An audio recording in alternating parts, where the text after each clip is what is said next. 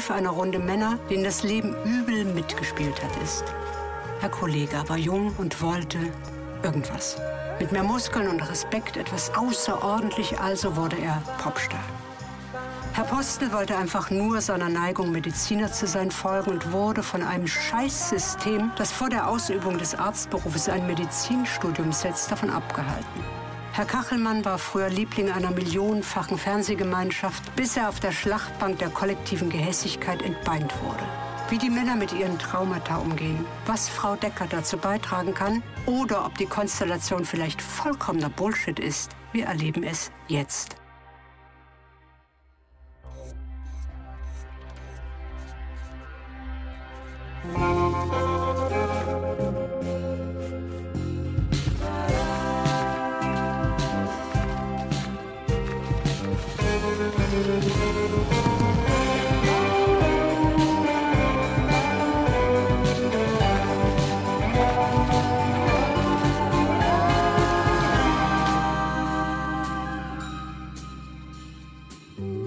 Hallöchen, wir sind's, Joko und Klaas. Duell um die Welt am Tisch. Die Talk Challenge, jetzt geht's los. Erste Show.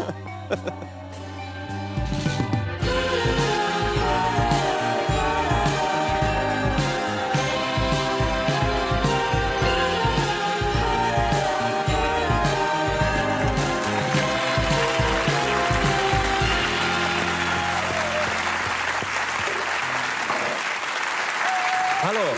Einen wunderschönen. Abend.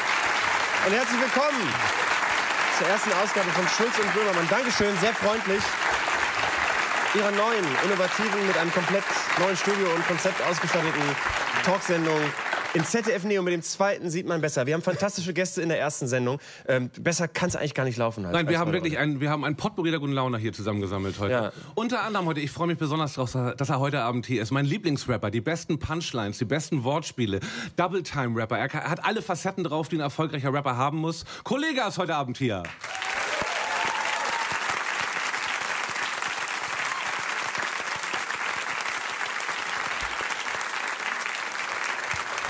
Vor, vor, vor vielen Jahren, ich glaube zwei ist es her, habe ich mich schon mal sehr intensiv um ihn als Gast bemüht. Das hat damals nicht geklappt und zwar mit der Begründung, dass sie zuerst noch ihre juristischen Angelegenheiten klären wollten. Die juristischen Angelegenheiten sind jetzt weitestgehend geklärt. Ich glaube, er hat den Axel Springer Verlag äh, zumindest in die Knie gezogen, vielleicht auch bald um sehr viel Geld erleichtert. Ich freue mich sehr, dass er hier ist. Jörg Kachelmann aus der Schweiz.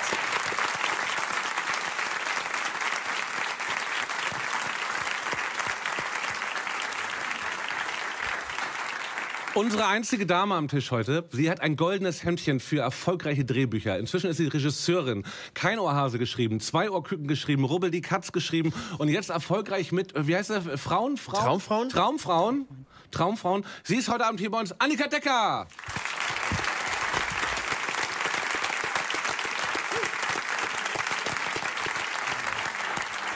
Ähm, jetzt kommt äh, der letzte Gast, den wir vorstellen möchten, Ihnen vorstellen möchten. Er ist äh, als einziger von uns für das Hochstapeln, was er ähm, äh, hinter sich hat, musste er schon sitzen. Wir alle sind Hochstapler, er wurde dafür verurteilt. Der, einer der bekanntesten Hochstapler Deutschlands hat sich jahrelang als Arzt ausgegeben. Kommt aus meiner Heimatstadt Bremen, war damals in den 90er Jahren eine Riesennummer. Wie lange haben Sie gesessen? Vier Jahre? Drei Jahre? Ich bin wegen besonders guter Führung dann sehr Nee, aber wie lange Sie gesessen haben?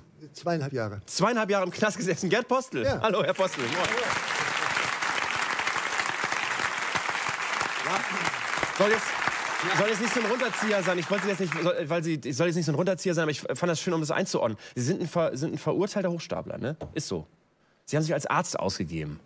Ja, aber das ist ein komplexes Geschehen, das zu reduzieren. Ja, aber, aber nur die Leute sind, ein, sind einfache Leute. Sie sehen ja einfache Leute. Komplexe Geschehen muss man einfach darstellen. Sie würden sich selber nicht als Hochstapler bezeichnen. Doch, um mich verständlich zu machen, dem Volk draußen im Lande. Den einfachen Leuten. Ja, schon. Da habe ich gleich Aber- mal eine Frage an Kollega. Ist man als Rapper nicht auch immer gleich ein Hochstapler? Man ist so, du erzählst so wahnsinnige Stories in deinen Texten, was für ein Leben du führst und so. Also ich würde mal sagen, 90% der Rapper, die es gibt, sind Ja. auf jeden Fall mehr Hochstapler als er, weil er hat immerhin zwei Jahre Knasterfahrung. Ja? Das ist schon Ja, mal ja, das stimmt schon mal. Also, für eine Gangster-Rap-Karriere. Ich schreibe dir die Texte, dann machen wir, ziehen wir durch. Ja, Sehr gut, sehr gut. Olli, erklärst du die Karten? Ich muss zum Anfang der Sendung heute noch was erklären. Wir haben heute ein kleines Spiel dabei, ein kleines Gimmick. Und zwar für jeden hier gibt es einen kleinen Schutz, und zwar diese beiden Karten. Plus, plus eins, minus eins. Und zwar folgendes. Wenn es irgendwas gibt hier in der Sendung, was Ihnen nicht gefällt, irgendwas, was Sie sagen, von dem Sie denken, das möchte ich nicht in der Sendung haben, dann nehmen Sie einfach die minus eins Karte und schneiden die letzte Minute raus. Die wird komplett rausgeschnitten. Problem ist allerdings, es gibt auch eine plus eins Karte. Und wenn jemand meint, das sollte doch in der Sendung bleiben, haut er einfach die plus eins Karte darauf und dann ist wieder alles ausgeglichen. Wenn jemand aber die plus eins Karte zuerst raushaut, will er damit sagen, in der nächsten Minute will ich was erzählen, das sollte nicht in die Sendung kommen. Also, wir haben Möglichkeiten, diese Sendung heute mitzugestalten. Hat's jeder kapiert? Ist das verständlich? äh, Hast du es? Ja, ist. Also jetzt nach dem vierten Anlauf habe ich es kapiert, ja, wir ich haben es schon. Publikum nicht. Wir haben es wir schon müssen- mehrmals erklärt. genau. Wir müssen das auch nicht verwenden. Nee, Sie müssen das, Sie können es auch mit nach Hause nehmen für den Privatbereich, aber es funktioniert da halt nicht. Nee, das nur im Fernsehen Ich funktioniert. möchte das gerade mal probieren. Äh, Karim, Ja, komm, das, ist mir zu früh. Nee. Warte mal, das ist jetzt ja, aber ich finde das eigentlich ganz interessant, ehrlich gesagt. So.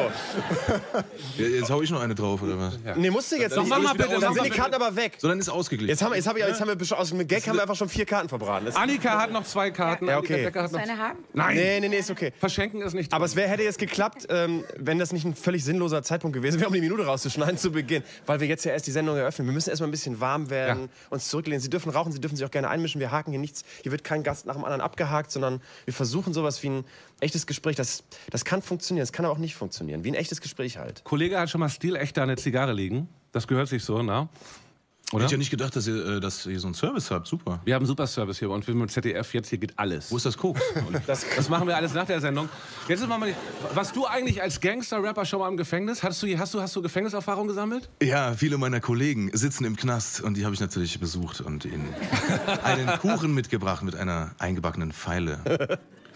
Nein, ich selber war jetzt mal, um ernsthaft Ja, hier auch mal ja. eine Diskussion vielleicht ins Rollen zu bringen. Ja, ne? danke schön, danke schön. Äh, das ist natürlich so eine Sache, da muss ich sagen, da war ich immer zu schlau für, als Ja. dass ich mich erwischen lasse und in den Knast komme. Kann man da stolz drauf sein, wenn man als Rapper sagt, ich war schon mal im Gefängnis? Oder ist das eigentlich, denkt man nicht, ganz schön dumm von dir eigentlich? Na, es kommt drauf an, ne? Wenn du natürlich wegen Schwarzfahren im Knast landest, ne?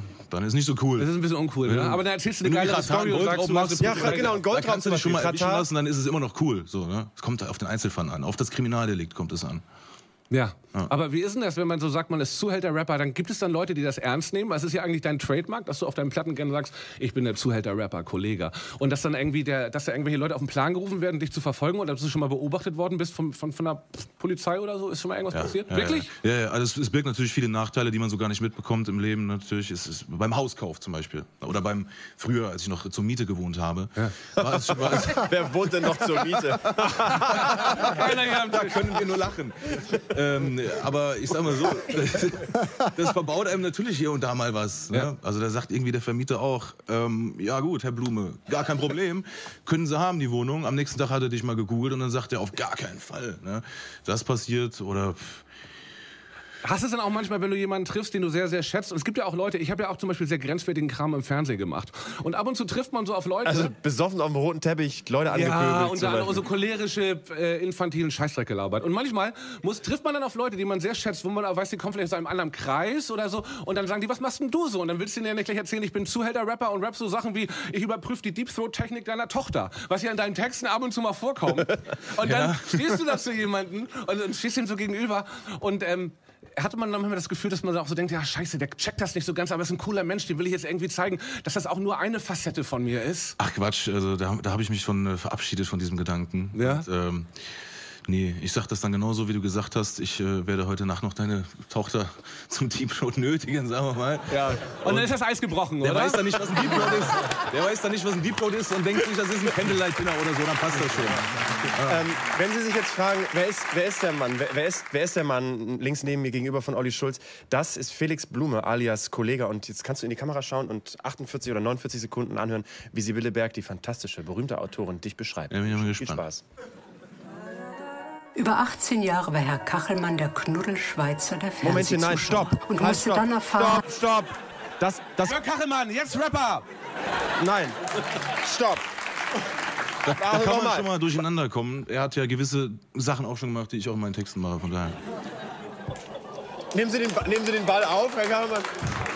Habe ich so gehört. Al- Als Sie bei Pelzig gesessen haben, haben Sie gesagt, das ist alles Lüge. Alles, was man über Sie erzählt, stimmt alles nicht. So. Ja, das, äh, darauf muss ich leider weiterhin bestehen. Aus rechtlichen Gründen, damit es Ihnen der Prozess nicht nein, zusammenfällt. gen- generell so, generell so. Das ist vielleicht auch uncool, wenn man unschuldig im, ich weiß nicht, unschuldig im Knast sitzen, sitzt, ist auch uncool, nehme ich mir jetzt mal. Ja, auf jeden Fall. Deswegen geben Sie es zu, wir machen eine Karte hin, dann hat es keiner gehört. Ganz kurz, ich will das nicht unterbrechen, aber das ist äh, Felix Blume, alias Kollega, und der wird jetzt 48 Sekunden in die Kamera gucken. Dann sagt Sibylle Berg was über ihn. Waren die Trikotagen grüner Politiker vor 20 Jahren noch ein Sag mal, seid ihr bescheuert? Ihr, ihr Ey, noch eins und denke ich bin raus hier. Und dann bin ich wieder bei Zirkus Halligalli. Echt jetzt? Das gibt es nicht. Das ist Felix Blume. Jetzt, eigentlich, müsst, eigentlich müsste die Produktionsfirma müsste das jetzt. Das ist, das ist Soll ich Felix. selber machen? Nee. Was ist denn passiert? Ist hat ein Mitarbeiter einen Schlaganfall oder was? Was ist los? Eine Sekunde, es tut uns wahnsinnig leid. Wir müssen ganz kurz hier ein paar Sachen sortieren. All die Besprechungen, all die Konferenzen, all dieses Gebührengeld, was hier in diese Sendung reingeflossen ist. Und jetzt, jetzt passt der Anstand auch nicht mehr, weil, ihr, weil jetzt zwei Leute rauchen. Ja, aber wie machen wir das denn jetzt? Dann brennen zwei Zigaretten, da kommen wir doch niemals in Ist doch egal, dann lassen wir das alles so drin. Das Ja, macht die würde ich auch Ja, ist- wir es lassen alles so drin. Wir lassen das jetzt alles so drin. Es ist die erste Sendung, das kann mal schief gehen. So, meine Damen und Herren, das ist Felix Blume. Er ist aber auch bekannt unter dem Namen Rap, Rapper. Ja, er ist unter dem Namen Kollege aber auch bekannt. Und die berühmte Autorin Sibylle Berg sagt jetzt 48 Sekunden lang hoffentlich was über Kollega. Jung zu sein und Mann ist eine der anstrengendsten Krankheiten. Die heutigen Initialisierungsritten der Pubertierenden, die nicht das Zeug haben, um in Silicon Valley durchzustarten, sind mühsam. Um sich von allem Weiblichen, Weichen, Lapprigen zu befreien, muss der Halssuchende Muskeln trainieren, zum Islam konvertieren. Früher wären es die Neonazis gewesen oder ein Kirchenchor, die dem jungen Mann Halt in der homoerotisch konnotierten Männergruppe geben und retten. Ist man klug wie Herr Kollega, schafft man es fast so anspruchsvoll zu rappen wie Sido und weiß um die Vergänglichkeit von Ruhm, die gerade im Rap-Geschäft sehr schnell erfolgt, denn Rapper in einem skorpionesken Alter sind selten. Herr Kollega studiert darum Jura und wird vermutlich, wie unter Rappern üblich, ein Praktikum im Kanzleramt anstreben, um im Anschluss Justizminister zu werden oder Sozialarbeiter. Ja, Kollege, herzlich willkommen. Ist nicht so schlecht. Ist diese, ist diese Jura-Geschichte, ist das so eine Art Fallback-Plan, Plan C, Jura studieren, Sicherheit oder um die Kumpels rauszuhauen? Oder? Ach, ich kann diese Jura-Geschichte auch nicht mehr hören. In jedem Du hast die Scheiß- aber hast so sie oft doch in die Welt erzählt. gesetzt. Du hast die so oft erzählt. Nein, ich werde doch immer gefragt. Ja, aber ist ist das doch so? Gut fürs Image, wenn man als jetzt? Gangster-Rapper Jura studiert. Ja, die Jura-Geschichte, was soll ich dir sagen? Hast du aufgehört oder bist du noch am Start? Nee, ich bin ja scheinfrei. Staatsexamen mal irgendwann vielleicht noch, ne? Ich mache vielleicht noch ein Praktikum bei meinem eigenen Anwalt, so, der schreibt mir ein Scheinchen. So, dann hole ich mir das Staatsexamen noch Ja, irgendwann ab. ist scheiße, wenn man so Geschichte in die Welt Damit ich, aber nur, damit ich diese Interviews nicht mehr gebe. Ja, kann ich, nach, kann ich nachvollziehen. Es ist ja auch die Hölle in diesen ganzen äh, YouTube-Hip-Hop-Portalen, dass man bei jedem Interview, was man gibt, ich habe mir ja viele von dir angeschaut, bei jedem, also keins geht unter 90 Minuten und muss immer seine gesamte Lebensgeschichte Mhm. nochmal erzählen. Wie müde ist man eigentlich davon, immer wieder zu erzählen, ja, hier vor zehn Jahren, da hat das alles angefangen, dann kam die erste Platte Alpha-Gene, dann kam das. Ist das nicht ermüdend? Bist du, kannst du das überhaupt noch? Wie lange kannst du noch durchhalten? Es ist, ist schwer geworden mittlerweile. Deswegen, ich sage auch viele Interviews ab mittlerweile. Äh, und wenn es um sowas geht, Biografie, dann sage ich immer, bitte Leute, lasst euch was Neues einfallen. Und Lasst euch zu meiner Biografie was Neues einfallen. Nach außen hin ist die Hip-Hop-Community Community ja wirklich immer one big family, alle mögen sich. Aber ich glaube, es ist nicht wirklich so. Es ist ja auch so, es ist ja auch ein knallharter Konkurrenzkampf, oder? Bis man da wirklich sich so irgendwie rausschält aus diesem Pulk von Hip-Hopern und dann wirklich, sage ich mal, so ein Unikat ist, so, hat bei dir ja auch ganz schön lange gedauert. So, ich habe deine Karriere wirklich seit zehn Jahren verfolgt und du hast vor zehn Jahren schon über die gleichen Sachen gerappt, über die du jetzt rappst, bist aber damals nicht der Typ gewesen. War das dann so, dass du dir dachtest, scheiße, jetzt rappe ich über dieses Leben, hab damit Erfolg, jetzt muss ich auch so werden? so Tupac-mäßig meinst du? Ja. Also erst über Gangster äh, gerappt und dann äh, aus dem Ballettverein raus und dann auf die, auf die Straße. War der beim. Ballett, Tupac? Ja, ja, weißt du das nicht? Nein, weiß ich nicht. Ja, er war Balletttänzer und Schauspieler. Er kommt eigentlich aus einer guten Familie. Und du? Ich nicht. Ich war kein Balletttänzer, ne? aber Aber gute Familie. ja. Gute Mama auf jeden Fall, finanziell nicht so gut dargestellt, aber sonst. Die neue Platte, die du gemacht hast, letzte Platte Zuhälter Tape 4, war ja also wirklich nur Koks, Nutten, Sex und äh, das ist so eine richtige, so eine Platte, um noch zu zeigen, wie real man ist? Oder ist es einfach eine große Übertreibungsplatte? Weil der, das Problem bei den Kids ja ist, also viele Kids kommen auf die Konzerte, die wollen ja eine Identifikation. Meinst du, die raffen alle, dass das alles auch irgendwie eine große Show ist? Und wie oft darf man denen das sagen? Und sagen die dann irgendwann, ja, der ist ja gar nicht mehr real, der ist ja wirklich gar kein Zuhälter oder ähnliches. Wie hält man da die Gratwanderung? Also die Kids, die peilen das hundertprozentig. Ne, meine, meine, meine, mein Publikum, sag ich mal, das ist auch sehr, sehr facettenreich. Geht von 13 bis, sagen wir mal, 42. 50. ne? Dankeschön. Dankeschön. Dankeschön. Ah, charmant. Allem ist das genau Ollis, Ollis schwacher Punkt, das Alter. Überhaupt nicht, ich bin in der Form meines Lebens. Ja, ja. Hast du nicht vor deiner Garderobe noch erzählt, dass jetzt, jetzt in deinem Alter jedes Jahr schlechter ist als das Jahr vorher? Nein, das hat Louis C.K. erzählt, mein Lieblingscomedian. Wir müssen ganz kurz mal die Runde öffnen, weil ich, ich habe das Gefühl, wir haben drei Leute, die noch überhaupt. äh, Ja, das, ich wollte jetzt gerade zu einem Post. Ich wollte diese jetzt kurz Fachdiskussion mit Hip-Hop und vielleicht, so. dass wir noch 15 Minuten Können wir über beide meinen noch mal- Wir können uns am Tisch unterhalten, wenn ihr wollt. Herr Kachelmann, Sie sind Böhmer. zusammen mit Herrn Postel, ich glaube, wenn unsere Recherche da nicht, nicht trügt, Sie, Sie waren die einzigen am Tisch, die schon mal im Gefängnis saßen. Sie Die real saßen, Gangster Die echten Gangster. Ne, Ja, also, aber Sie reduzieren das immer permanent. weil das erstmal interessiert. Lassen Sie uns doch mal irgendwie reinkommen in, diese, in, das, in dieses Gespräch. Leute Herr brauchen was. Postel fühlt sich sofort angegriffen, Ja, egal was man sagt. Nein, aber diese ewige Reduktion der Sache und Reduzierung auf einen Gefängnisaufenthalt. Haben Sie das so mit Vielfalt? Lass mich Ich mal fühle mich, dieser dann, ich fühl mich nachher auch noch angegriffen, wollte ich nur noch. Ich wollte schon mal, jetzt darf er zuerst, aber ich fühle mich auch angegriffen. ich das machen? sagen. Mach Ja, jetzt soll, jetzt soll er Mach zuerst. mal, nein, mach mal. Nee, nee, Nein, jetzt nein, soll Postel, ich hatte- will das Postel, Postel Gefängnisaufenthalt. soll zuerst. Postel Und- ist größer. Und diese, diese, Ja. dieses, Und älter. Diese, das, das, dieses Etikettieren, das finde ich vollkommen langweilig und zum Gähnen. Es Ja, aber gibt, ich ja äh, nicht. Unter, ja, aber ich. Aber ich. Ich gebe Ihnen eine Antwort auf das, was Sie sagen. Aber ich habe ja gar nicht, habe ja gar keine Frage gestellt. Ich war bei Herrn Ja, und Kachelmann. ich bin doch nicht darauf angewiesen, dass Sie Fragen stellen. Haben Sie das eigentlich so mit dieser Art auch in der Psychiatrie geschafft, jahrelang den Arzt darzustellen? Weil es ist extrem Ja, ich beeindruckend. sehe Sie nicht als Patienten, Herr Böhmermann, im Moment. Noch nicht, noch nicht. Aber selbst wenn Sie mich als Patienten sehen, wären Sie gar nicht berechtigt, überhaupt mich in eine Art von Behandlung zu verwickeln, weil Sie ja bloß so getan haben, als seien Sie ein Arzt. Und zwar jahrelang. Und zwar so erfolgreich, dass Ihnen das alle geglaubt Ja, haben. ich war Hochstapler unter Hochstaplern. Das heißt, die Kollegen um Sie herum haben das Gleiche gemacht wie Sie, nur halt mit Autorisation War von ich nur ein bisschen schlauer, weil ich einfach wusste, um diese Hochstaplerrolle wusste. Und diese Leute ja denken, dass sie wirklich gute Leute sind und Ärzte sind. Wissen Sie, was Ex-Post-Reasoning ist? Nee. Das ist, wenn man sich Sachen, die man verbockt hat, im Nachhinein so zurechtbiegt, dass es für einen Sinn macht. Ja, sowas gibt's. Ja, äh, ich verstehe auch noch nicht ganz den Motivationsgrund. Warum haben Sie eigentlich, warum wollten Sie Ach, gerne das ist Arzt die Frage. Die Frage ist auch irgendwie ein bisschen naiv. Ja, aber ich will die Frage trotzdem, man macht doch nicht irgendwas ich- ohne Grund. Ja, ja, aber erstmal ist man sich seiner Gründe ja nicht permanent bewusst und seiner eigenen Motive auch nicht permanent bewusst. Heute in der Sendung zum Beispiel und nicht. zum das stimmt, anderen, ja. äh, wie einer handeln, ha, wie, wie, gemäß seiner Beschaffenheit handelt ein jedes Ding. Ja, wie ich bin, so handle ich. Ich finde das ganz interessant. Ich kriege eine Verbindung. Sie, Sie haben auch als psychologischer Gutachter für äh, Gerichtsprozesse gearbeitet, obwohl Ja, Sie das gar jede nicht. Menge. Ne, äh, Sie, Was, obwohl ich was? Obwohl, obwohl Sie kein ausgebildeter Psychologe sind und nicht die Berechtigung hatten, das vor einem ordentlichen Gericht zu tun. Ja, und? Herr Kachelmann hatte in. in ja und? Ja. Ja und? Ich bin auch kein Gehirnchirurg und mache Ihnen nicht das, den Kopf auf und sage, ich mach da mal was oben drin. Mal gucken, ob das irgendwie gut geht. Aber Sie sind darauf, Sie, Sie waren im Laufe. Ihres Prozesses, haben Sie auch mit psychologischen Gutachtern zu tun gehabt. Und wenn Sie jetzt, wenn Sie jetzt wissen, dass jemand wie Herr Postel das jahrelang Jemand wie Herr Postel. dass Herr Postel, dass ein integrer, äh, sympathischer Mann aus meiner Heimatstadt Bremen, wie Herr Postel, das jahrelang geschafft hat, ohne eine formelle Qualifikation dafür zu haben, dass der theoretisch das auch bei Ihnen hätte machen können oder bei, bei der damals. Und vielleicht besser als ausgebildete Psychiater. Ja, was macht das dann mit ihm, mit Ihnen im Nachhinein? Das war, glaube ich, der am wenigsten überraschende Teil. Also wenn man Opfer eines Verbrechens wird, wie ich das damals wurde, gibt es ganz viele überraschende Dinge. Also zum Beispiel äh, Knast scheint für euch ein wichtiges Thema zu sein. Das- Interessant, weil wir beide nicht im Knast waren. ist, ja klar. weil wir, Ähm, weil wir zu, zu große Weicheier sind oder beziehungsweise noch nicht das Pech hatten, in so eine Sache reingezogen Weil zu sie so moralisieren wollen. Letzt, letzteres bei mir. Ähm, für mich ist das immer eine schwierige, eine schwierige Sache mit dem Knast, weil einerseits ist es natürlich toll, total cool drüber zu sein. Andererseits ist es, wenn man unschuldig im Knast ist, glaube ich, eine der größten Furchtbarkeiten, die man erleben kann. Was mich überrascht hat. Warum sagen Sie denn, ja, Sie waren noch gar nicht unschuldig im Knast? Nein, aber ich unterstütze ihn. Dann permanent. Das hatte doch was, eine Scheinplausibilität. Ich kann doch ihn unterstützen.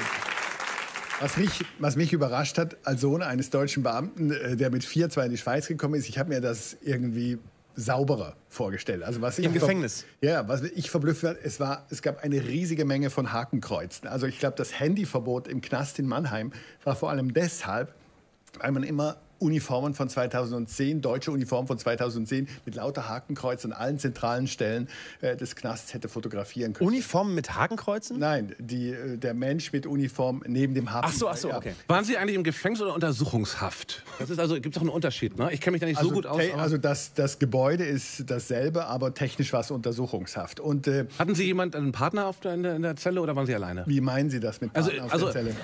das ist eine Person, mit der man zusammen Hakenkreuz an die Wand malen kann oder ähnliches. Also, oder waren Sie ganz alleine da? Also, also Ja, das ist, das, ist- das ist so toll. Das ist so, die, die, die äh, Falschbeschuldigerin, die wird jetzt zu Hause wieder sitzen und jubeln, weil es sie geschafft hat. Fünf Jahre nachdem sie mich zum Opfer ihres Verbrechens gemacht hat, ist es, sind wir, da- das ist eben auch das Problem, was, glaube ich, Meister Postler hat, obwohl er ein bisschen in einer anderen Situation ist.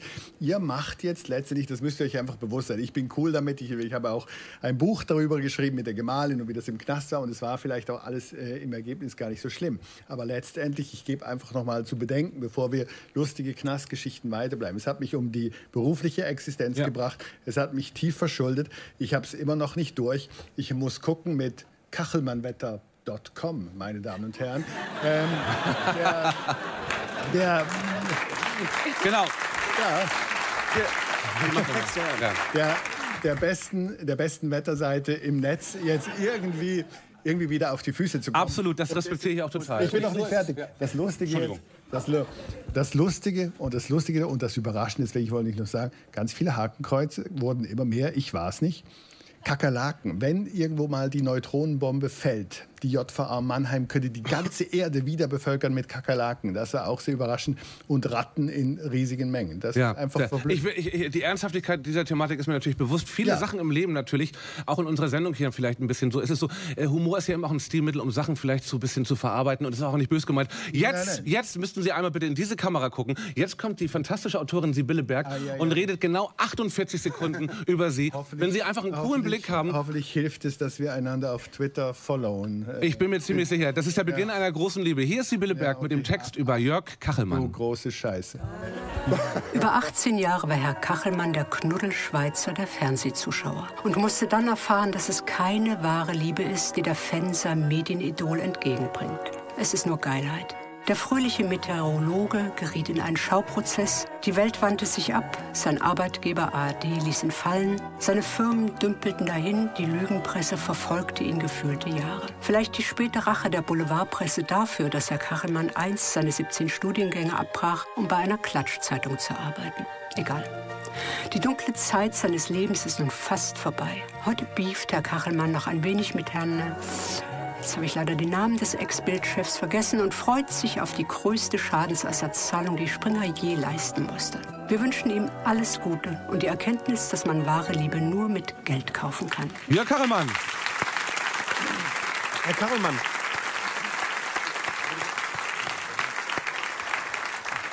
Das war, das war aber sehr nett von Frau Ja, Berg. das war sehr nett von Frau nett von Frau Berg. Was mich jetzt einfach allen interessieren würde, wäre, ist diese, diese, diese Zahlung der Bildzeitung, ist das in irgendeiner Weise eine Genugtuung überhaupt, wenn man so lange durch so einen, so einen Kohle Spieß kommt, wenn die Kohle käme. Wann kommt die Kohle? Die Kohle kommt nicht. sind in Berufung gegangen oder in, in Ja, Revision? es geht jetzt einfach durch alle Instanzen durch und mich kostet das natürlich immer mehr Gerichtskosten und Anwaltskosten. Die wissen, wenn die das bis zum Ende durchziehen, bleibt davon für mich praktisch nichts mehr übrig. Und deswegen äh, ja, ist es auch schön, irgendwie mal die Zahl gehört zu haben, aber mehr ist es auch nicht. Aber irgendwann kommt das Geld hoffentlich. Nein, oder? die Kohle kommt nicht. Weil, Kommt nie? Weil, ja, nein, die Kohle, ja, ein Bruchteil, ein kleiner Bruchteil davon.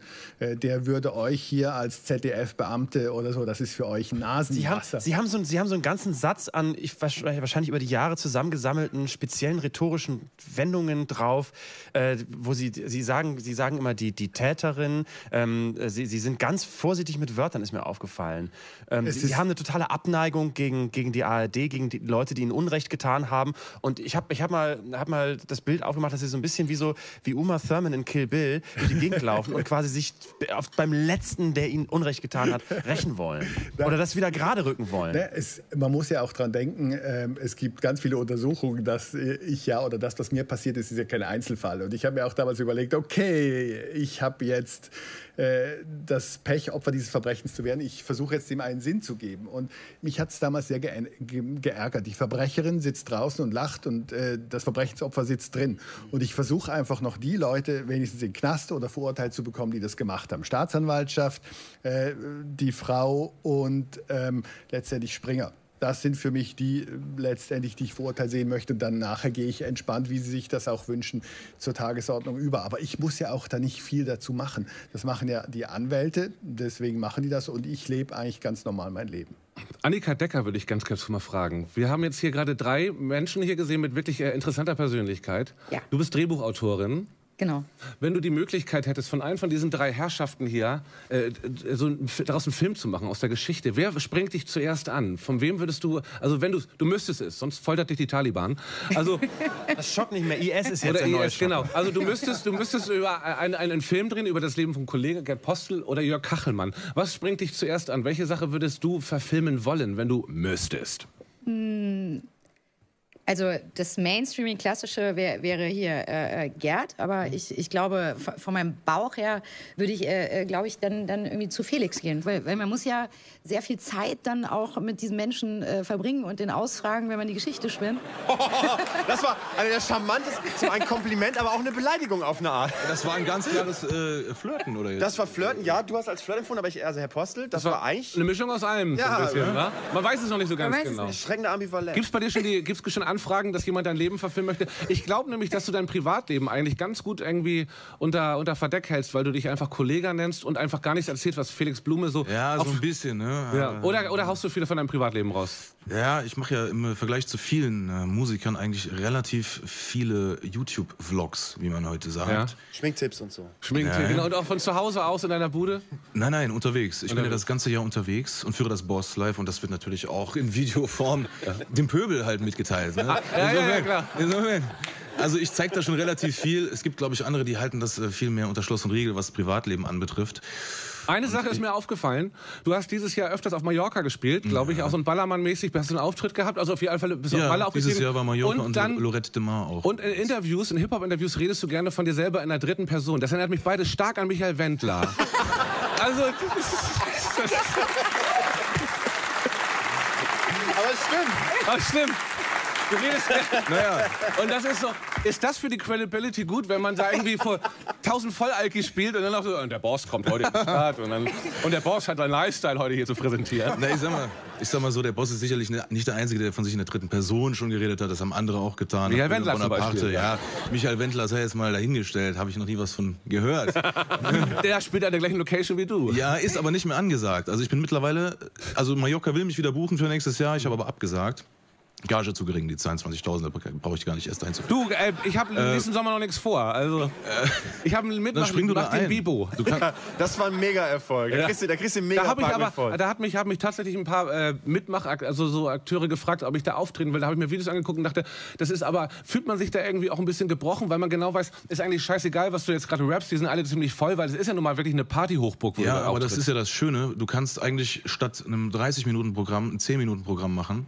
Das raffen die gar nicht, ne? Das raffen die nicht so. weißt Bist du dann immer nüchtern, wenn du da auftrittst? Ja, ja, ich trinke keinen Alkohol. Also ich glaube, ich würde das ohne, ohne Alkohol nicht aushalten. Ich habe mal auf einem Festival gespielt, was ich Gott sehen muss, und war vor dem Auftritt so betrunken und der Veranstalter kam zu mir und meinte, ich muss auf die Bühne. Ich war sicher, ich hatte schon gespielt. Wirklich. Also, Äh, Annika, Annika Decker, meine Damen und Herren, sitzt rechts neben mir. Ist erdrückt von dieser, von dieser Testosteron geladenen Stimmung hier. Ein bisschen, Es, ja. tut mir, es tut mir total, ich muss mich entschuldigen für alle, für, für die gesamte männliche Menschheit. Annika Decker darf jetzt mal 49 Sekunden. Du kriegst extra, extra eine Sekunde mehr von Sibylle. kommt ja auch noch einer auf 50 Sekunden. Das, meine Damen und Herren, das ist Annika Decker. Ist Sascha Arango der Star-TV-Drehbuchautor für müde, kulturpessimistische AfD-nahe Herrenreiter, so gilt Annika Decker als die erfolgreichste Unterhaltungsdrehbuchautorin des deutschen Kinos. Mit ihren Vorlagen für einige der berühmtesten Till Schweiger-Filme verhalf sie ihm zu dem Erfolg, für den er immer wieder Respekt einfordert. Die kapriziöse Autorin, die vornehmlich in Seidenpyjamas arbeitet, in jeden ihrer Drehbücher Hundewelpen hineinschreibt, um sie am Set anzufummeln und ihre Wohnung nur verlässt, um mit der Homeland-Produzentin Tee zu trinken, landete mit ihrem Regiedebüt, bei dem sie auch Produzentin und Autorin war, ein Blockbuster. als erste Frau in der neudeutschen Filmgeschichte. Wir freuen uns auf die quirlige Blondine und das sage ich nur, weil ich schon immer einmal quirlige Blondine sagen wollte. Annika Decker. Annika, du, du sitzt. Das muss man sich so vorstellen. Du hast die grobe Idee für, für äh, kein Ohrhasen im Kopf und setzt dich neben Till Schweiger und ihr setzt, sitzt dann nebeneinander am Laptop mit dem großen Till Schweiger und schreibt einen Blockbuster. Wer schreibt? Erste Frage. Wer, wer tippt? Beide eigentlich. Also wir haben, wir haben tatsächlich beide getippt. Und Halt, Till, nicht die Ausrufezeichentaste, ist nicht Facebook. Nicht, nicht alles in Großbuchstaben. Stopp. Ich übernehme. Nee, er schreibt wirklich selbst. Ja, ja, ja. Und äh, äh, ja, wie wir alle wissen, ist er ein sehr emotionaler Mensch. Da kann das schon mal vorkommen, dass er ein Leerzeichen vergisst oder viele Ausrufezeichen macht. Aber er meint es ja nicht böse. Nee, nee, genau, das unterstellt ihm ja auch keiner. Und, äh, und wer, wer, ist, wer ist für was zuständig? Bist du für die Gags zuständig und Til Schweiger für die romantischen Szenen? Äh, oder, Wer hatte oder die Grundidee des Films? Das würde ich auch gerne wissen. Zuerst, genau. Das lässt sich echt immer sehr, sehr schwer sagen. Also wir haben, ähm, wir haben einfach gesagt, wir würden gerne was über, über Männer und Frauen machen. Und wir haben am Anfang so ein bisschen gebrainstormt. Dann habe ich äh, äh, so ein bisschen das, das, das Gerüst äh, äh, schon mal gemacht für die Geschichte und, und mir Figuren ausgedacht. Und dann haben wir uns zusammengefunden. Und dann hat er aber auch äh, natürlich viel viel mitgeschrieben und, und, und viele Ideen gehabt und äh, tendenziell eher die äh, romantischeren Sachen geschrieben. Er hat die romantischeren Sachen geschrieben. Ja, er hat wahrscheinlich peinlich, auch. Naja, wieso? Er hat wahrscheinlich einfach wahnsinnig viel Erfahrung mit romantischen Dingen, oder? Ja, ich wahrscheinlich nicht so. Na, ich meine, also er ist halt, ich meine, er ist halt ein berühmter, der größte Schauspieler Deutschlands, würde ich jetzt mal sagen, aus Bewunderung und Angst und Angst und Angst. Äh, und er ist, äh, und er ist, ich glaube, ähm, äh, du bist dann die, dann die Gag-Tante quasi, die dann die Witze bin- reinschreibt. Ja, ich bin, ich bin grundsätzlich so ein bisschen die, die Gag-Tante. Also nicht, nicht im Leben, aber am Computer beim Schreiben. Und das, das ist ja, wie ihr ja wahrscheinlich auch wisst, ein sehr technischer Vorgang manchmal. Ja. Dass man die Punchline hinhaut oder wie du heißt. Was Und- mich ein bisschen wundert, ist, dass du wirklich, das war dein, dein Filmdebüt, dein erstes Drehbuch, Kein Ohrhasen. Warum hat man, irgendwie finde ich es ungerecht, wenn man gleich zum Beispiel Kollega auch irgendwie die ersten Platten, die rauskamen, oder auch mal, also ich habe irgendwie vor drei Leuten gespielt und so, wenn man gleich hier irgendwie so einen super Hit irgendwie raushaut. Ich finde es irgendwie schöner für die Biografie. Kannst du nicht noch was reinlügen, irgendwie wie Herr du, Postel weißt und ja sagen, nicht, du weißt ja nicht, was für Arschlöcher ich als Chefs davor hatte in all meinen was hast du eigentlich davor gemacht? Oh Gott, alles Fernsehen, Mögliche. oder? Fernsehen. Fernsehen. Aber Ähm. jetzt war ja Hit an Hit. War denn Traumfrauen eigentlich der erfolgreich an der Kasse? Ja, ne? Der war auch Ja. relativ erfolgreich. Gehört zu den drei erfolgreichsten. Da hat Elias Mbarek mitgespielt. Ist es nicht egal, wo der mitspielt? Der Film wird ein Erfolg momentan. Kann man da nicht auf der sicheren Seite sein, wenn man so Til so Hochkaräter holt? Äh, nee, Will man nicht mal was Mutiges versuchen mit Olli Schulz in der Hauptrolle zum Beispiel? Will man nicht also auch mal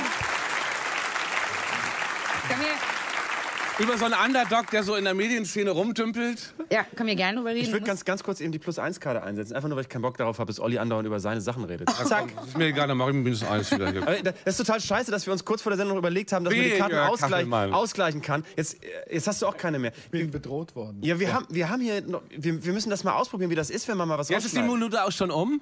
Jetzt? Nein, es ist, Ja, es ist neutralisiert. ja die Wir Plus haben, 1 geworfen, aber er hat gesagt, wehe Kachelmann. Wer hat wehe Kachelmann gesagt? Oh, Schulz. wehe, wenn sie jetzt vor Gericht gehen, deswegen. Ich habe ich hab, ich hab den gleichen Anwalt wie Cyber Du und Rammstein. Wirklich. Die haben jeden bis jetzt rausgeboxt. Äh, haben, Sie, haben Sie eigentlich mal Ali Schwarze auf einer Veranstaltung irgendwann wieder gesehen? Da ist ja auch offensichtlich alles durchtrennt Nee, worden. ich was- warte eigentlich immer noch, ich hoffe immer noch sehr intensiv. Ich habe ein, eine mündliche Zusage, dass ich für einen, einen Schweizer Zeitungskonzern Ber- Gerichtsberichterstatter werden darf, wenn Ja. es, äh, sie wegen Steuerdingen vor Gericht kommen. Äh, ich hab- ah, dann werden Ja, ja. Sie der Gerichtsberichterstatter Der- im Steuerprozess Gerichts- von... Ja, das ist eigentlich immer noch mein Traum, irgendwie die Erfüllung. Weil, weil Ganz damals, neutral. Weil, ja, ich wäre neutral. Ich würde dann versuchen zu zeigen, dass man nicht so machen ist wie Sie. Aber damals hat man gelernt, wirklich jeder Depp kann Gerichtsberichterstatter werden oder Gerichtsberichterstatterin. Und wenn das jeder Depp wie Frau Schwarzer äh, werden kann oder Deppin... Moment, das, da sind Sie äh, im Bereich dann- des Justiziablen. Tatsächlich, Nee, das Frau geht. Schwarzer Depp nennen. Ich weiß nicht, ist das... Das ja, es müsste geht gerade noch. Müsste gerade, noch aber Sie wissen das sehr genau, ne? Ich, äh, also Sie ich dürfen... Hast du eine Ist auch- Minus-1-Karte? Ist, ja, ist auch ein männliches Wort, Depp, ne? Äh, ich würde gerne Sachen... Wollen wir ganz kurz mal Sachen ausprobieren? Äh, oder eine Plus-1-Sache? Äh, eine- Nee, minus eins muss es jetzt Nein, eine sein. Plus-1-Sache, dann können wir mal Sachen ausprobieren, äh, die man, just, die, die man sagen kann, die, wo, man, ähm, wo man für verklagt wird. Also wie man Ali Schwarzer nennen dürfte. Aber jetzt bitte nicht ausgleichen. Nee, Okay, nicht ich schmeiß die mal hier hin. Also, also, also zum Beispiel, also da sind Hier, wir Da sind wir wieder. wieder. Wir sind wieder drauf. Nur mal ganz kurz, um das mal kurz gesagt zu haben. Ich wollte es Ja. immer in meiner Sendung sagen. Ja. Ich glaube, dass. Ich, ich, War heftig. Ich glaube, meine, meine Anwälte werden dazu noch was zu sagen haben. Ja, aber das, Sie werden das nicht mitbekommen. Sie haben Anwälte auch wirklich, ne? Ja, naja, es gibt halt äh, verschiedene Bereiche, aber davon hatten wir jetzt das. Also nicht, dass Sie denkt, darum ging es gar nicht in der Minute. Es Annika? geht um Frau. Herr Postel, wir müssen, wir, wir, komm, wir wenden uns ein bisschen dieser Seite des Tisches zu. Weil du hast eben mit Kollegen, du hast bestimmt eine halbe Stunde lang, habt ihr irgendwelche Musikersachen hin und her. Ich weiß nicht, ob dir das aufgefallen ist. Haben wir? Ja, wirklich, weil du, weil du das Die Zeit verging so schnell, ich hab Nein, dass die du, Uhr geguckt. äh, Olli kennt dein Lebenswerk einfach komplett. Der hat wirklich vorhin in der Probe Punchlines zitiert. Kannst du mal die fünf geilsten Punchlines von Kollegen, kriegst du die zusammen oder bist jetzt zu... Natürlich ich Ja, das sag zusammen, mal. jederzeit. Ja, los. Ich gehe geradeaus wie die Ölreserven. Oder Ich laufe mit dem Dicken rum, ich laufe mit dem Dicken rum wie Asterix. du hast eine Freundin mit dem sächsischen, sächsischen Dialekt, der Boss hat sächsischen Dialekt. Hammer. Das ist Hammer. Ich könnte unzählige aufzählen, aber das wäre jetzt auch zu viel Lobhudelei. Wir müssen ja auch ein bisschen so tun, als wenn wir hier nicht Bros im Game sind oder so. Ne? Entschuldigung mal, die Rapper sitzen auf dieser Seite. Das ist Sorry, no offense. So, Herr Postel hat noch nicht. Der Herr Postel würde ich gerne eins fragen. Ähm, eben gerade hat Herr Kachelmann gesagt, jeder Depp kann ja eigentlich ein Ger äh, Gerichtsbestatter äh, äh, Ja, werden. Nee, Und, Erstatter, und, und jeder. Depp auch ein forensischer Psychiater. Ja, genau. Ist es wirklich Ja. so? Könnte ich jetzt in der Psychiatrie könnte ich Nein, nein, das glaube ich nicht. Warum nicht? Ja, weil, sie, weil sie über wenig, wenig Empathie verfügen. Ach, das ist so absoluter über, ganz, Quatsch. über, Ich bin einer der renommiertesten Liedermacher Deutschlands. Bei mir heulen die Leute beim Konzert, bevor das Ja, Konzert losgeht. Aber ich, heul, ich, ich heule aber nicht und ich habe auch noch nie geheult. Und so, Sie haben noch nie geheult, Herr Postel? ja, aber haben Sie eigentlich, als Sie in der Psychiatrie äh, dort gearbeitet haben, haben Sie auch Menschen helfen können? ja, dauernd, natürlich. Ja, klar. Indem Sie gesagt haben, die sind gesund, hauen Sie ab hier. Nee, wie, wie war das? Haben Sie die Leute entlassen? Haben Sie sie behandelt? Haben Sie sich was angelesen? Das würde mich jetzt wirklich interessieren. Haben Sie sich darauf Das, ich kann vorbereitet? auf solche Fragen nicht antworten. ja, warum können Sie können nie auf irgendwas antworten? Nein, weil, weil Warum können Sie darauf nicht antworten? Mich würde es interessieren. Sie, ha Sie wollten, Sie haben sich beworben für eine Psychiatrie als Oberarzt. Ja, richtig? pass auf, jetzt lassen Sie Aber mich jetzt, dann- ja, ja, ich lasse Sie ja gleich. Ich lasse Sie so, voll, so solange Sie wollen. Aber Sie müssen sich entweder darauf vorbereitet haben oder sind Sie so ein, so ein, haben Sie so eine, so eine Gene in sich, dass Sie es einfach können. Woran Sie müssen, liegt Sie es? müssen nicht intelligent sein, um als Oberarzt einer psychiatrischen Klinik bestehen zu können. ich auch gerade. Äh, Das Medizinstudium ist ja kein bildungsförderndes Studium, was nicht ausschließt, dass es Ärzte gibt, dass es, dass es Ärzte gibt, die, obschon sie Arzt sind, dennoch gebildet sind. Das kommt gelegentlich vor, in Psychiaterkreisen nicht so häufig. Ich habe mich, ich hab mich beworben um die Stelle, da hatten sich 39 äh, Fachärzte beworben, acht waren in der engeren Wahl, die mussten vor einem Auswahlkollegium einen Vortrag halten. Ich habe gesprochen über die Pseudologia Fantastica am literarischen Beispiel der Figur des Felix Krull. Das ist die Lügensucht im Dienste der Ich-Erhöhung aus der psychoanalytischen Diagnostik. Und dann wurde der einzige Postbote eingestellt und 39 Ärzte eben nicht. Sie sind gelernter Postbote. Ja. Und Volksschule Bremen-Golland, Hauptschule Aber, Bremen-Golland. aber Und haben Sie auch irgendwie nicht mehr. Psychopharmaka verschrieben? Oder? Ja, Ich habe alles gemacht, was Psychiater so machen. In der, ich war stellvertretender Klinikdirektor und ich war Weiterbildungsbeauftragter der Sächsischen Landesärztekammer. Ganz ich habe zum Beispiel, äh, ganz lass, ganz kleinen Moment. Ja. Ich, ich habe Krankheitsbegriffe eingeführt vor sächsischen Psychiatern, die es überhaupt nicht gibt. Die, die bipolare Depression dritten Grades gibt es nicht. Kein Psychiater hat eine Frage gestellt.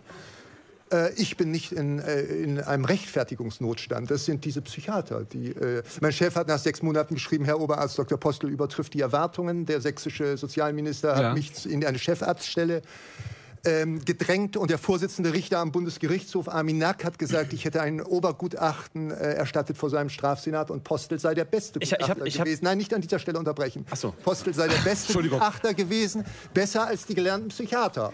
Ja. Und das war ein Ritterschlag und ist auch komisch, dass man von einem der höchsten deutschen Bundesrichter gelobt wird für etwas, für das man von einem rangniedrigeren Gericht verurteilt worden ist. An dieser Stelle. Äh, äh, Da bin ich in keinem Rechtfertigungsdruck. Ich, ich möchte gerne mal eine Frage stellen, die Ja. ungefähr dem entspricht, was passiert, wenn man bei Google nach Google sucht. Haben Sie jemals, also mit Ihrer Expertise oder Schein zusammengelesenen Expertise oder, oder Scheinexpertise als Psychiater, ähm, was glauben Sie, was mit Ihnen nicht stimmt?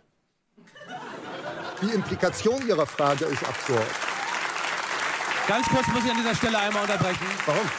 Wollen wir einmal Gerd Postel von Sibylle Berg vorstellen lassen müssen. Das bitte. ist Gerd Postel. Ja, Und ich muss da hinsehen. ja Wenn bitte. Sie wollen. Wäre Herr Postel oder, wie Buddies sagen, Dr. Med. Dr. Phil Clemens Bartholdy, von Beruf Verwehrter seiner diversen medizinischen Anstellungen, weniger klug, hätte er das Zeug zu einem 1A-Verschwörungstheoretiker. Wäre er noch klüger, würde er nicht glauben, über Gesetze erhaben zu sein und wäre, statt seine Bedeutungsbehauptung zu perfektionieren, Forscher geworden, der seine intellektuellen Fähigkeiten zum Wohle der Weltbevölkerung nutzen würde. Schade. Die unseligen Dispositionen seiner Psyche führen zu einer amüsanten Dauerscharlatanerie und vermutlich dem ständigen Gefühl, verkannt zu sein. Wir sind Herrn Postel außerordentlich dankbar dafür, dass seine Neigung nicht der Gehirnchirurgie galt. Wir lesen gerne über ihn, wir hören seine Geschichten gerne. In seinem Kopf wohnen wollen aber die wenigsten. Gerd Postel.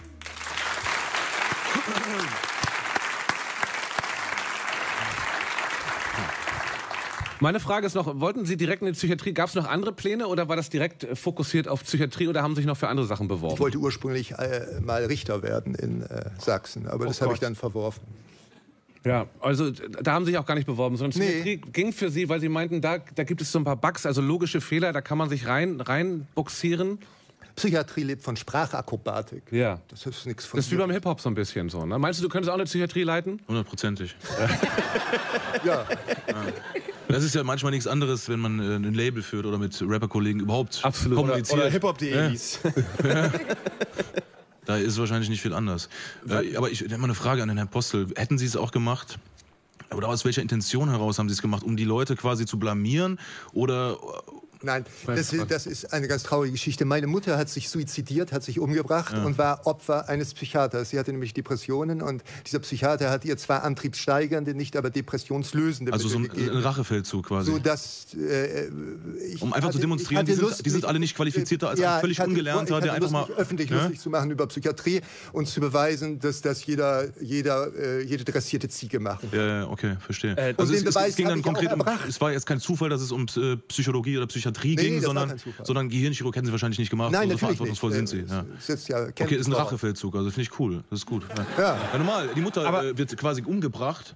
Ich frage mich aber trotzdem, wie weit das Ganze resultiert ist aus einem Minderwertigkeitskomplex. Äh, ja, wenn es dann ist es. Überkompensation von Minderwertigkeit. Aber mit solchen Begrifflichkeiten kommen wir nicht weiter. Das Nee, es Sie- interessiert mich ja einfach nur, Sie, haben das doch Sie haben das doch jahrelang gemacht. Sie haben Geld bekommen als Oberarzt. Ja, und? Ich habe ja auch gearbeitet als Oberarzt, Wann, wann wollten Sie, wann, ja, aber wann wollten Sie denn den Gag auflösen, dass Sie sich über die Psychiatrie lustig machen? Wenn Ihnen nicht jemand auf die Schliche gekommen wäre, wären Sie wahrscheinlich heute immer noch Oberarzt. Nein, überhaupt nicht. Das ist ja keine intellektuell anspruchsvolle Tätigkeit, die auf Dauer befriedigt. Nein, also das heißt also... Dann wären Sie wieder Postbote geworden? Nein, das ist so eine Hürde. Das ist, Nein, also wann, wann hätten Sie denn von sich, als das klingt, Stichwort Ex-Post-Reasoning, also diese Geschichte mit Ihrer Mutter, so wahr sie auch sein mag, wobei ich Ihnen überhaupt nicht weiß, was ich überhaupt glauben soll oder, und was nicht, Ja, was wirklich total bizarr ist, weil normalerweise bin ich der Typ, den Leute angucken und nicht genau wissen, was, was sie von einem halten sollen. Aber ich habe das zum ersten Mal das Gefühl, eine umgekehrte Situation. Ja, ist ja, äh, aber ist lehrreich für Sie vielleicht. ist lehrreich. äh, Leben verrückt. Ja, wir müssen das jetzt einfach annehmen, dass es stimmt. Wir müssen natürlich, wir müssen annehmen, dass es stimmt. Das mache ich ja auch gerne. Ja, Sie aber, hätten- aber diese Sie Geschichte, hätten aber sich diese auch Gesch- vorbereiten können, Aber diese, aber diese, aber diese Geschichte, ähm, dass sie, dass sie zeigen wollten, was für ein Quatsch die Psychiatrie ist, Ja. äh, das, dann hätten sie sich doch irgendwann einen Schlusspunkt gesetzt. Ja, das aber- hatte ich auch vor. Aber sie sind aufgeflogen. Ja, weil es gab eine Ärztin, die ähm, in einem anderen Oberarztbereich war und mit dieser Oberärztin, DDR-Oberärztin nicht klarkam. Die habe ich in meinen Oberarztbereich geholt und die hat dann zu Hause bei ihren Eltern erzählt, sie sei im Oberarztbereich des netten Dr. Postel und da kannte man den Namen. So ist es aufgeflogen. Wie lange haben Sie, Aber wie, das wie sollte, das aber, aber durchgezogen? äh, ich wollte, irgendwann hätte ich es doch auffliegen lassen. Aber ich meine, dass das es gelegentlich äh, begnadete Psychiater gibt, ist doch klar. Der Thrill ist doch, dass da ein Postbote kommt. ja, ja, aber wie, lang, wie viele Jahre war das denn? Zwei Jahre. Ach, zwei Jahre nur, okay. Ja, zwei Jahre. Naja, zwei Jahre. Naja, ich hätte, wenn es jetzt zehn Jahre gewesen wären, hätte ich gesagt, ja, wahrscheinlich hat Ja. er sich an seinen Job gewöhnt und das Gehalt und so weiter. Und es hat ihm Spaß gemacht irgendwann. Und er hatte vielleicht die Intention verloren, das irgendwie au- Nee, aufzulösen. nee, das gehörte ja. Das, Also das kam gehörte quasi in die Quere, Spiel. dass Sie das entdeckt war ja auch wurden. sozusagen für, die narzisstischen, für die narzisstische Zufuhr des Protagonisten wichtig. Ja, ja. Wir reden auch über Decker die- muss ich noch mal ganz du kurz ge- fragen. Herr Postel, Sie haben an ganz kurz, Herr Postel, Sie haben auch gerade über in dritter Person über sich geredet. Schon wieder eine Parallele. Ja, aber das mache ich so aus Und auch Wortakrobat. Da könnte, ich sehe eine große Kollabro da irgendwie. Ja, ja, Jung, brutal und in der Psychiatrie. Lass mich nicht alleine. Muss auch mitmachen. Annika Decker, du hörst jetzt hier immer mehr von unseren anderen Gästen. Immer noch der Meinung, ähm, von, von Kollega das Leben zu verfilmen? Oder hast du, hast du dich so ein bisschen jetzt gerade... Also grundsätzlich schreibe ich gerade irgendwas ganz anderes. An was schreibst du denn gerade? Äh, eine neue Komödie. Ich kann leider noch gar nichts. Äh, Ja, okay, aber ist denn, ey, Rubbel die Katz war eine Komödie, Zwei Ohrhasen war eine, äh, kein Ohrhase war eine Komödie, Zwei Ohrküken war eine Komödie, Männer, äh, Traumfrauen war eine Komödie. Kommt irgendwann noch mal der depressive, schwierige Film, der progressive Film, der vielleicht alles aus dem, über die, die einsame Schildkröte. über die einsame Schildkröte oder den einsamen Psychiatriearzt oder irgendwas, gibt's da irgendeinen Plan? Zeichnet sich im Moment nicht ab. Also äh, ich glaube, man, ich glaub, man merkt ja, aus welchem Holz man so geschnitzt ist. Und, und bei mir Ist dein Leben eine Komödie? über, überhaupt nicht. Also ich, ich lebe sehr gerne und ich bin, glaube ich, ein grundsätzlich sehr optimistischer Mensch. Aber ich war ja auch schon mal sehr krank und durch einen ärztlichen Diagnosefehler, deswegen äh, Du lagst mal im Koma, stimmt das? im künstlichen Im Koma. künstlichen Also ich Koma, bin du wirst künstlich ins. Koma. Äh, Warum? Ähm, ich, hatte, ich hatte Nierenstein und, und äh, das hat eine Ärztin nicht diagnostiziert und ich hatte auch Nierenstau schon. Und dann, hatte ich, äh, dann hat die mich nach Hause geschickt und gesagt, das wäre äh, psychosomatisch und ich hatte wahnsinnige Schmerzen und habe dann so ganz viel Schmerzmittel bekommen und dann äh, ja, war es eigentlich fast zu spät, als ich dann nochmal in die Klinik bin und dann hatte ich eine Blutvergiftung. Und das war halt so weit fortgeschritten, dass die Organe versagt haben und dann haben die mich ins künstliche Koma gelegt. Also ich bin jetzt nicht ins Koma gefallen. Ist das eine lebensverändernde verändernde Situation gewesen für dich danach? Ja, davor, Ja, danach? auf jeden Fall. Ich musste wieder laufen lernen und ich war Wirklich, laufen ja, lernen? ja, also, äh, Du warst komplett gelähmt oder, oder, oder nee, Bein? oder? hat, du hast keine Muskeln mehr. Ich war acht Tage im künstlichen Koma und äh, das war mir auch nicht so klar. Nach acht Tagen lassen die Ist Muskeln alles schon? weg, alles weg, wirklich alles. Du kannst deine Waden nehmen und so zusammendrücken. Und ich habe wirklich, wirklich so ein Bettfahrrad bekommen. Jeden Tag kam so eine Physiotherapeutin, hat ein, Bett an, äh, ein Fahrrad ans Bett gerollt. Habe ich mich immer gefreut. Und Schuld war ein Arzt. äh, ich will jetzt da gar nicht, also ich. Ja, haben Sie äh, eben gesagt. Haben Sie eben gesagt. Also ich, ja, aber ich, ich habe jetzt noch nicht, äh, noch nicht angefangen, äh, in dieser Klinik zu arbeiten. Deswegen um, um War das vor? War das.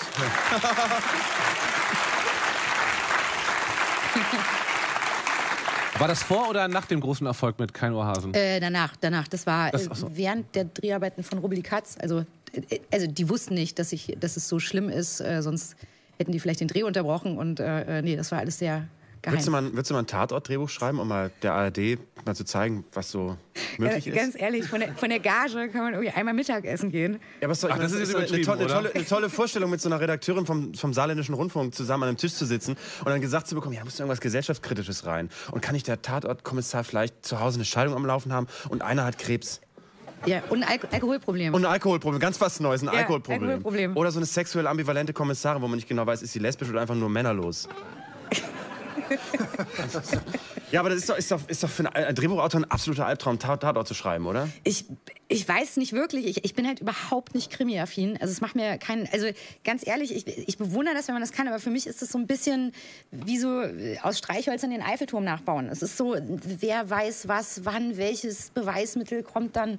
Das ist nicht so ganz äh, meins. Also, aber äh, großer Respekt. Jeder, ich meine, Till, der spielt ja immer, der spielt in einem, äh, in einem Tatort den Kommissar. Ach so, ja, aber das schreibe ich ja nicht. Ich könnte das halt nicht schreiben. Also man, man muss ja immer das machen, was man am besten kann. Ja. Und Herr Kassmann, versöhnen Sie sich eigentlich eines Tages mal wieder mit Ihrem alten Arbeitgeber? Gibt's da, ähm, ähm, also sind Sie, oder sind Sie nur darauf aus, quasi das Unrecht, äh, auf Ihrer Seite geschehene Unrecht, äh, also empfundene Unrecht wiederherzustellen? Oder wird, wird das irgendwann wieder zu einem, zu, einer, zu einem Frieden führen? Einem, äh, Beziehungsweise wann haben Sie selber Ihren Frieden wiedergefunden? Weil es ist ja auch bei Ihnen ein Rachefeldzug momentan. Beziehungsweise Sie wollen Gerechtigkeit. Ne, Rache sehe ich eben gar nicht. Es ist einfach, glaube ich, ganz normal wichtig für den Rechtsfrieden ist, Verbrecher sollten verurteilt werden. Das ist das, was ich anstrebe, nicht mehr und nicht weniger. Und Rache überhaupt nicht. Wie gesagt, das, es ist halt immer das gleiche Thema und wir reden gar nicht über das Wetter, was ich sehr bedauere, sondern immer über... ja, wie wird das Wetter denn? Wie wird das Wetter... Beschäftigen Sie sich damit noch wirklich jeden Tag mit dem Wetter? Sind Ich Sie beschäftige, es gibt diese wunderbare Seite kachelmannwetter.com. Aber wie, nochmal ganz, die Adresse, ich habe ihn nicht verstanden. Kachelmannwetter.com. Ja, kachelmannwetter.com können wahrscheinlich alle mal... Können wir vielleicht mal kurz die Adresse einblenden? Wir haben viele ältere Ja. Zuschauer, dass sie einfach mal das aufschreiben Ja, und genau, ins das- Faxgerät eingeben. beim, ja, beim ZDF müsste es aber in Sütterlin geschrieben werden. Ja, wir sind ja bei ZDF Nee oder wird das in Comic Sense? Okay. Nee, ey, also, aber er- äh, um die Frage noch kurz zu beantworten. Ich, ich habe meinen persönlichen Frieden. Äh, letztendlich, ich merke davon nichts im täglichen Leben. Ich bin froh und alles ist soweit gut. Aber ich finde nach wie vor, ja, Verbrecher sollten verurteilt werden für die Verbrechen. Das ist ganz normal. Das ist keine Rache, sondern das ist einfach Rechtsfrieden herstellen. Was die ARD betrifft, ja, ich bin enttäuscht, wenn ich irgendwo 18 Jahre gearbeitet habe für einen Arbeitgeber, wenn die sich nicht mal gemeldet haben. in Ja. Also die haben nicht mal einen Brief geschrieben, oh, das tut uns aber leid, was ihnen jetzt passiert ist. Und wir gucken mal, wie es dann ausgeht und dann sehen wir weiter. Aber wer soll auch schreiben? Es gibt neun Intendanten, es gibt äh, 16 Verwaltungen. Es war, ja, es war einfach das, das schiere Nichts. Und, ähm, und das ist schon, äh, und dann eben den Satz von Harris am Schluss, ähm, ja, Sie dürfen leider nicht wieder in die Glotze, weil wir müssen uns überlegen, was sich die Leute vorstellen, wenn sie sie sehen. Ich habe jedenfalls, um nochmal darauf zurückzukommen, ich habe mir jetzt in den letzten Tagen nochmal Ihr Hörbuch angehört. Und man merkt, also es sprudelt aus jeder Zeile so Hass, Verzweiflung und natürlich auch Wut raus. Ich habe Also- keinen Hass, keine Verzweiflung, keinen Wut. Also das ist, ich weiß, Dann habe ich ist- das falsch, dann habe ich das völlig falsch interpretiert. Das Ja, Buch. also, ja, ja, wir, Ich, ich, muss, ich muss mal was fragen. wir kennen uns, glaube ich, auch Ich muss zu mal ganz kurz was Der fragen. Eine interessante Frage auch. Und zwar, äh, Achtung, interessante Frage. Das war auch ein, das war auch ein Diss jetzt gerade. Wieso? Weil habe ich. ja, das führt, führt sonst zu nichts. Äh, ne? Oder? Also, Und zwar, du bist ja der Meinung, du bist unschuldig verurteilt worden. Ich weiß das. Du weißt es also aus deiner bin, Sicht. Ich bin Aber- nicht verurteilt worden, sondern ich bin freigesprochen worden. Das, ich bin nicht verurteilt worden. Okay. Ja, das ist Sa wichtig. sagen wir mal, nicht verurteilt, Ich bin sondern, unschuldig freigesprochen sondern du worden. äh, distanzierst dich komplett von dem Tatvorwurf, sagen wir mal. komplett. Erf erfunden, erstunken, unterlogen. Ja, von vorne So. bis hin. Ja. Würde jetzt der Psych äh, Psychiater oder der empathische Mensch daraus schließen, dass der Herr äh, Kachelmann einen so jahrelangen Prozess des Rachefeldzugs oder äh, sag mal, diese Energie aufwendet, ist das ein Indiz dafür, dass er tatsächlich nichts getan hat? Ja. Ist es, ne? Ja, klar. Und ich erlebe ihn übrigens auch überhaupt nicht als verbittert. Überhaupt kein bisschen. Herr Postel, Sie sind kein Psychiater. Noch mal ganz kurz. Heute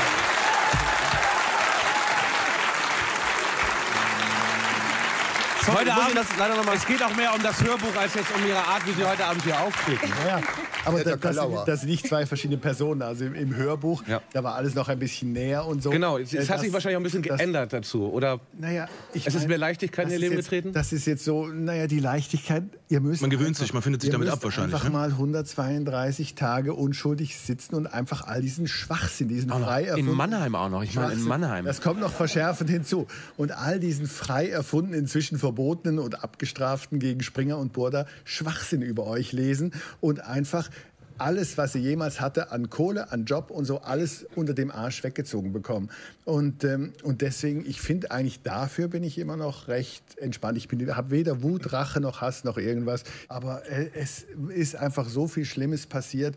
Und ich möchte auch nicht, und das ist mir wichtig, dass es noch vielen anderen so was Schlimmes passiert. Und wenn einmal es geschafft ist, ihr müsst auch denken, es ist das perfekte Verbrechen. Jeder Falschbeschuldigerin passiert genau nichts, wenn sie dieses Verbrechen macht. Und das möchte ich ändern, äh, dass irgendwann mal eben auch ein Verbrechen ein Verbrechen genannt wird. Und äh, das mache ich mit aller Entspanntheit als äh, Familienvater, normaler ähm, Arbeiter bei kachelmannwetter.com und all diesen Dingen. Und, ähm, Auch, auch, auch um den Preis, dass sie den Kollateralschaden in Kauf nehmen, dass das schnell in die andere Richtung ähm, pendeln kann. Also dass dann Leute, die ich, also Frauen, denen dann quasi das wirklich widerfahren ist, was, was sie nicht Das ist getan kein haben. Kollateralschaden. Der größte Schaden für eine Frau, der dieses furchtbare Verbrechen wirklich passiert ist, dass sie vergewaltigt worden ist, sind eben die Falschbeschuldigerinnen, weil es dann eben diese Unsicherheit und diese Unschärfe gibt. Es gibt, das ist diese furchtbare Schere, äh, dass die Mehrheit der Frauen, denen ernsthaft dieses Verbrechen passiert, nicht zur Polizei, nicht vor Gericht gehen äh, und dieses Verbrechen nicht anzeigen. Das ist furchtbar. Und dann gibt es eine andere Furchtbarkeit, dass die Mehrheit der angezeigten Verbrechen keine waren. Aber das sind zwei unterschiedliche Dinge. Mit ihrer Position haben sie aber, sie haben eigentlich keine Lobby oder sie bauen sich ihre eigene Lobby auf. Es ist, es ist eine unpopuläre Position, die sie einnehmen. Es ist unpopulär. Das hat meine Frau, hat ja mal das Unwort des Jahres kreiert und wurde dann auch Unwort des Jahres mit dem Opfer-Abo. Ähm, das ist nicht auf meinen Mist gewachsen, aber es ist schon so, das wissen auch viele Männer, die mal in Sorgerechtsstreitigkeiten verwickelt waren und so, dass es sehr schwer ist, äh, wenn, äh, da sieht man auch letztendlich, was passiert ist aus Falschbeschuldigungsopfern. Ich meine, ich habe beruflich materiell, finanziell alles verloren. Horst Arnold? Ich meine, Horst Arnold hat sein Leben verloren. Andreas Türk ist, weiß ich nicht, was er Bei gerade Kabel 1 Moderator geworden. ist auch, ist, ist auch nicht schön. Und, und ihr seht ja auch, dass der, dass der Job der, dass der Job der Falschbeschuldigerin, ich meine, es ist 2015 gefühlt und 2016 in Realität. Und wir reden heute Abend, wenn es um mich geht, nicht um kachelmannwetter.com, das neue tolle Start-up, sondern, sondern So, so langsam kippt es, Herr Ja, Kammermann. genau. Das war jetzt der eine zu viel. Kann ich jetzt einmal kurz die Boss-Transformation? Ja, genau. Also, wir müssen sowieso langsam, Produkte pluggen. Wir müssen sowieso langsam zum Ende kommen. Annika Deggers neuer Film ist bestimmt auch super. Jetzt Genau. gerade auf DVD. Was, machen Sie, was haben Sie gerade draußen, Herr Postel? Ich twittere. Herr Postel, Apostel am Seit Freitag. vier Wochen. Vor vier Wochen wusste ich nicht, was Twitter ist. Und jetzt ganz gut, ne? twittere ich. Ich kriege jetzt ein kostenloses Abo für die Boss-Transformation vom Kollegen, hoffe ich doch mal. ich weiß, ob wir Ende Januar Regen oder Schnee haben vom Karrenmann-Wetter. Genau. Und, und das wünsche ich mir eben sehr, dass es eben dann, wenn wir hier uns in zehn Jahren uns wieder treffen, dass das nicht mehr das Thema sein wird. das geplant? Das, ja, ist, das ist geplant. Das haben Sie Das ist unterschrieben. wie, das ist wie Abi-Treffen. Das haben Sie alle unterschrieben. In zehn Jahren treffen wir uns hier genau wieder. Wir genau. müssen jetzt langsam zum Ende unserer Sendung, glaube ich, kommen. Ja. Wir sind hier mitten im Rausch gerade. Wir haben, wir haben die Karten gar nicht aufgebraucht. Und es hat in den Karten nicht so richtig funktioniert. Ich Doch, habe das war schon sehr, sehr gut, Jan. na, ich hab gedacht, dass das mehr geschnitten wird. Und Der Das, letzte Scheiß, dieses System. Das hat, glaube ich, kaum keiner gedacht. Ist doch völlig egal. Das war vor allem Keiner wird hat das ein mit die Karten daran, dass irgendwas rausgelöscht wird. warum der denn nicht? Wenn man hätte Sachen sagen können zum Beispiel, die man Ja, aber schon man mal sagt doch nur Sachen, die auch gehört werden sollen. Ja. Ja, das hört man auf Oder deinen nicht? CDs. Weil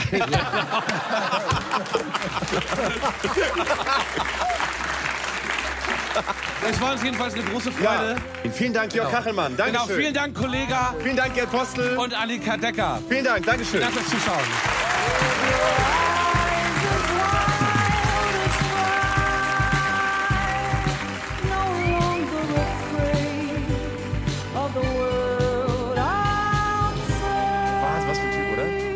Der was- Postel ist, Alter, was für ein Typ. der Postel ist raumeinnehmend.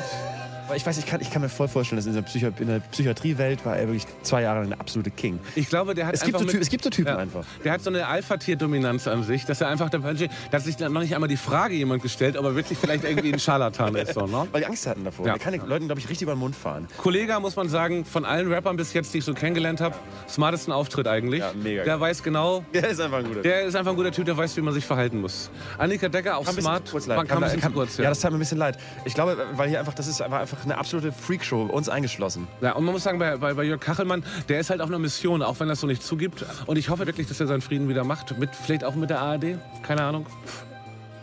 War, war, was, war die erste Sendung, ne? War die erste Sendung heute. Wie findest du das mit mir jetzt so? Was, wieso? Ja, wir kennen uns seit drei Jahren. Das erste Mal sehen wir uns wieder beim Moderieren zusammen. Was nämlich keiner weiß, unsere Radiosendung, da sind wir immer getrennt. Ja. Nee, ich, Ungewohnt, ne? ich glaube, es, ich glaube, es war, das war eine gute erste Sendung. Ich glaube, Lust nach oben. Ja. Was machst du jetzt noch? ich ähm, gehe jetzt Pibi machen erstmal. Ich gehe jetzt noch einen Dönerspieß. Es wird einen Lammspieß geben um die Lammspieß, Ecke. Lammspieß als Tellergericht im Kebabland. Da gehe ich jetzt hin. Mm. Wir sehen uns ja. nächste Woche, ne? Wir sehen uns nächste Woche wieder. Ich glaube, es war eine okay Sendung. Also Luft, äh, Luft nach oben. Halten wir fest, Luft nach oben. Ja. So. Feierabend.